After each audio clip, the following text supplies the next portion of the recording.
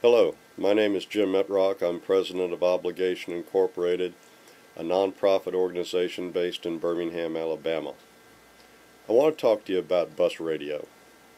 I want to talk to you about the Bus Radio Content Review Board.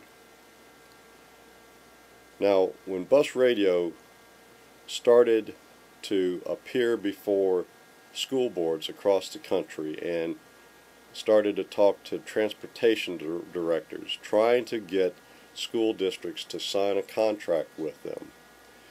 One of their big claims to fame, one of the things that had to influence a lot of school boards, was the fact that bus radio had established a content review board.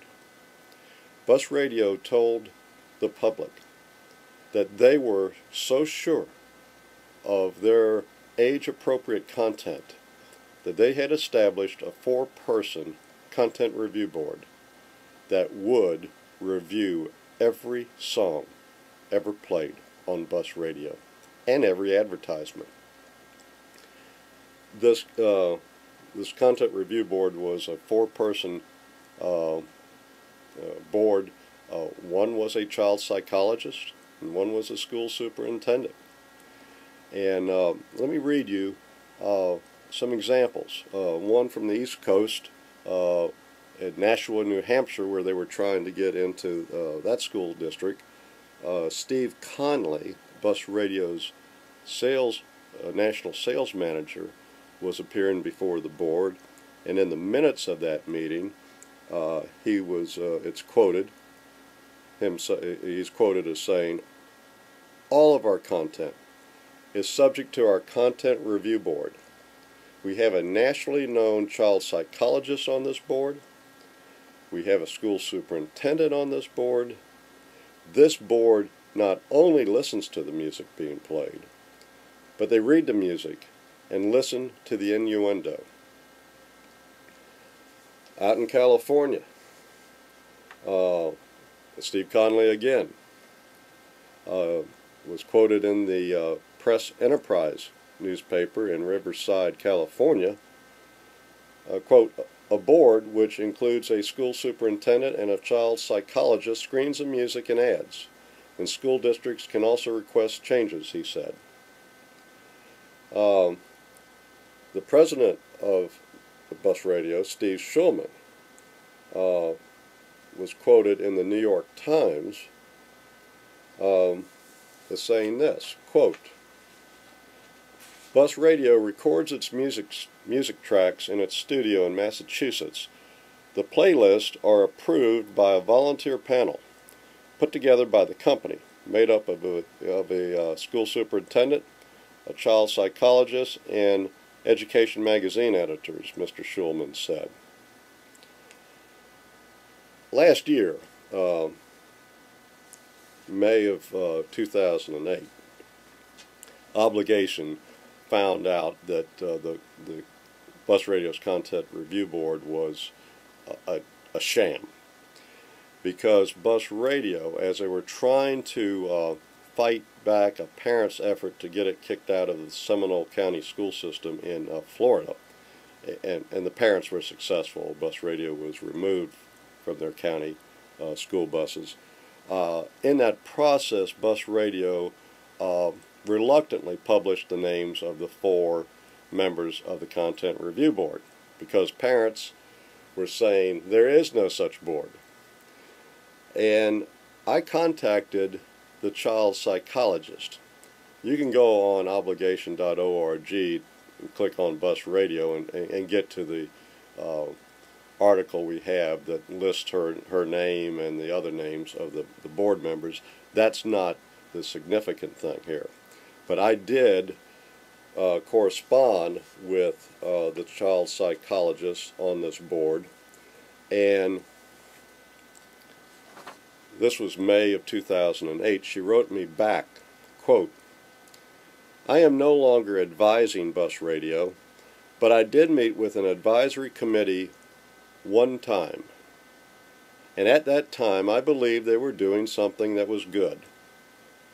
At this time, I cannot say anything because I have not worked with them for about two years.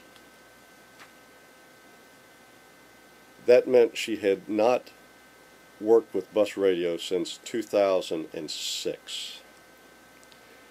She had one meeting. We knew this content review board didn't exist.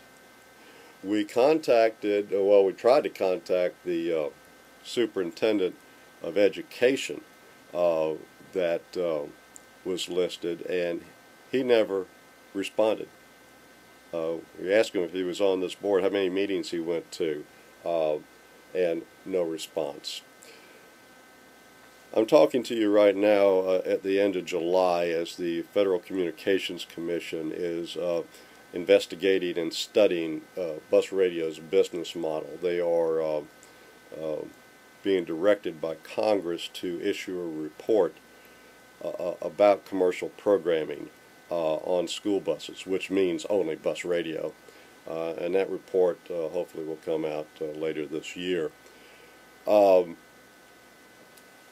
the FCC asked uh, Bus Radio several questions, and one of the questions was uh, uh, concerning uh, the Content Review Board.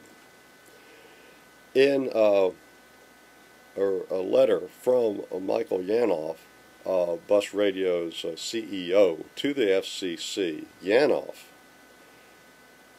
says he doesn't want the names of the members of the Content Review Board to be made public, even though Bus Radio had made those public in May of 2008. Uh, but his reason, one of his reasons for wanting to redact uh, the names of the uh, Content Review Board members was uh, this quote: "The board, the Content Review Board." The board was assembled with the specific purpose of creating guidelines content for bus radio uh, to follow. After the guidelines were created, we dissolved the board. Again, he says the board was assembled with the specific purpose of creating guidelines content for bus radio to follow. After the guidelines were created, we dissolved the board. There was never a content review board that was going to review content. That's the CEO. He should know. But all the salespeople uh, said something totally different to the public. Uh, how can you mislead the public so blatantly? And why did they name it the Content Review Board if they weren't going to review content? It should have been the Guidelines Board or the Guidelines Creation Committee. But that wouldn't have helped school boards sign on the dotted line. They called it the Content Review Board to mislead decision makers at schools. And if you've got bus radio in your school system, more than likely you were misled into believing that uh, there were people that were going to check the checkers on this. There's nobody uh, on this content review board. There was never anybody. Anytime that Bus Radio had uh, had talked about this, uh, they knew. They had one meeting evidently, and that was it. And it wasn't to review content. This, bu this uh, Bus Radio Content Review Board did not review content. And their intention was never to do that. And that is straight from the CEO. He admitted it in July 2009. But unfortunately, school systems are now saddled with bus radio. Um, so, use this in your school system. Bring this up before your school board. Uh, this is one good reason uh, to uh, kick these people to the curb. Uh, you've got to be straight with the public. When you mislead people this badly, you have no business uh, dealing with the public. Thanks for your time.